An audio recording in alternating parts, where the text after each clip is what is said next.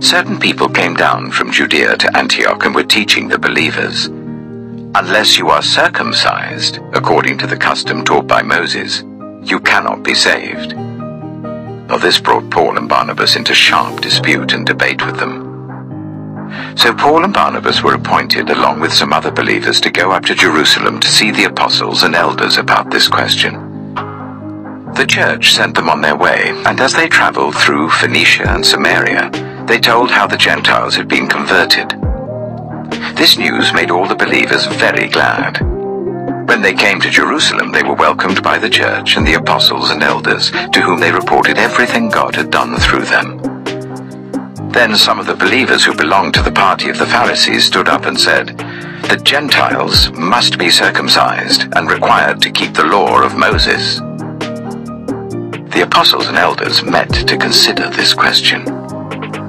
After much discussion, Peter got up and addressed them.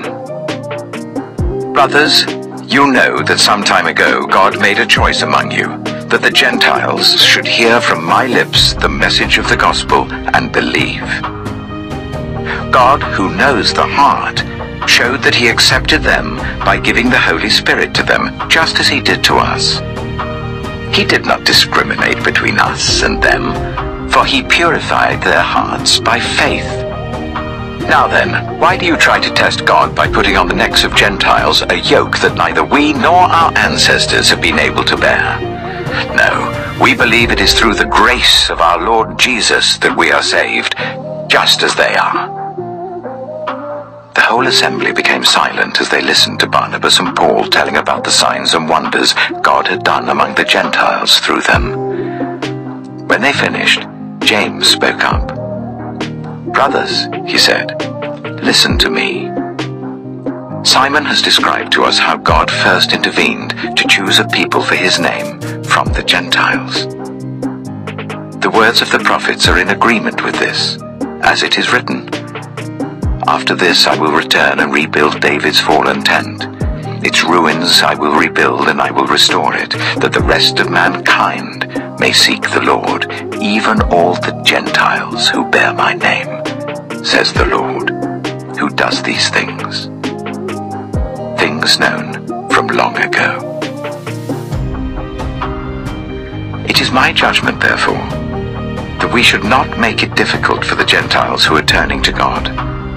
Instead, we should write to them, telling them to abstain from food polluted by idols, from sexual immorality, from the meat of strangled animals, and from blood.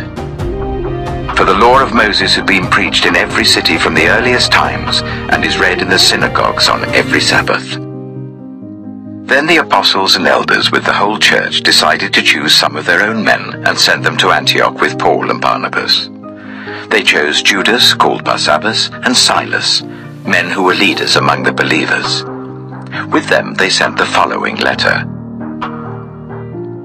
The apostles and elders, your brothers, to the Gentile believers in Antioch, Syria, and Cilicia. Greetings. We have heard that some went out from us without our authorization and disturbed you, troubling your minds by what they said. So we all agreed to choose some men and send them to you with our dear friends Barnabas and Paul, men who have risked their lives for the name of our Lord Jesus Christ. Therefore we are sending Judas and Silas to confirm by word of mouth what we are writing. It seemed good to the Holy Spirit and to us not to burden you with anything beyond the following requirements. You are to abstain from food sacrificed to idols, from blood, from the meat of strangled animals, and from sexual immorality. You will do well to avoid these things. Farewell. So the men were sent off and went down to Antioch, where they gathered the church together and delivered the letter. The people read it and were glad for its encouraging message. Judas and Silas, who themselves were prophets, said much to encourage and strengthen the believers. After spending some time there, they were sent off by the believers with the blessing of peace to return to those who had sent them. But Paul and Barnabas remained in Antioch, where they and many others taught and preached the word of the Lord. Sometime later, Paul said to Barnabas, Let us go back and visit the believers in all the towns where we preached the word of the Lord and see how they are doing. Barnabas wanted to take John, also called Mark, with them. But Paul did not think it wise to take him, because he had deserted them in Pamphylia and had not continued with them in the work. They had such a sharp disagreement that they parted company. Barnabas took Mark and sailed for Cyprus, but Paul chose Silas and left, commended by the believers to the grace of the Lord. He went through Syria and Cilicia, strengthening the churches. Paul came to Derbe and then to Lystra, where a disciple named Timothy lived, whose mother was Jewish and a believer, but whose father was a Greek. The believers at Lystra and Iconium spoke well of him. Paul wanted to take him along on the journey, so he circumcised him because of the Jews who lived in that area, for they all knew that his father was a Greek. As they traveled from town to town, they delivered the decisions reached by the apostles and elders in Jerusalem for the people to obey. So the churches were strengthened in the faith and grew daily in numbers.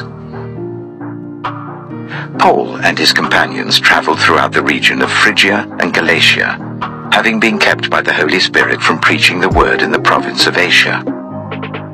When they came to the border of Mysia, they tried to enter Bithynia, but the Spirit of Jesus would not allow them to. So they passed by Mysia and went down to Troas. During the night, Paul had a vision of a man of Macedonia standing and begging him, Come over to Macedonia and help us.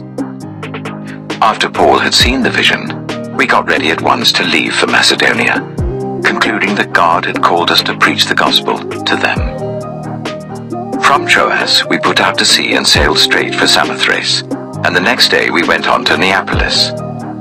From there, we traveled to Philippi, a Roman colony and the leading city of that district of Macedonia, and we stayed there several days.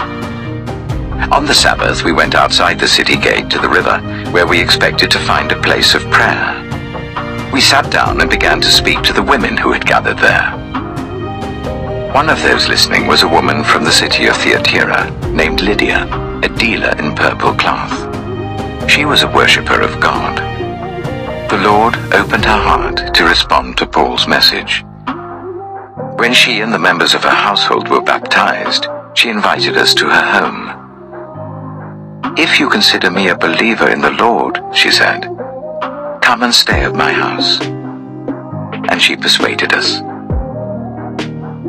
Once, when we were going to the place of prayer, we were met by a female slave who had a spirit by which she predicted the future.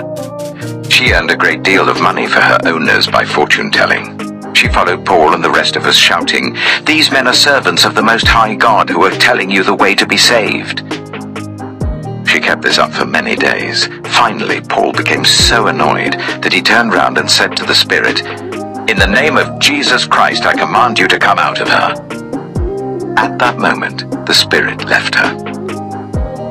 When her owners realized that their hope of making money was gone, they seized Paul and Silas and dragged them into the marketplace to face the authorities. They brought them before the magistrates and said, These men are Jews and are throwing our city into an uproar by advocating customs unlawful for us Romans to accept or practice. The crowd joined in the attack against Paul and Silas, and the magistrates ordered them to be stripped and beaten with rods.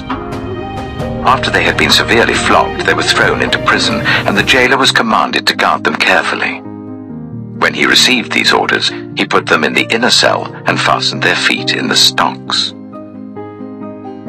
About midnight, Paul and Silas were praying and singing hymns to God, and the other prisoners were listening to them. Suddenly, there was such a violent earthquake that the foundations of the prison were shaken. At once, all the prison doors flew open and everyone's chains came loose.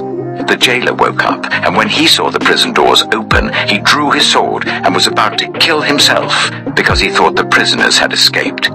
But Paul shouted, Don't harm yourself. We are all here. The jailer called for lights, rushed in, and fell trembling before Paul and Silas. He then brought them out and asked, Sirs, what must I do to be saved?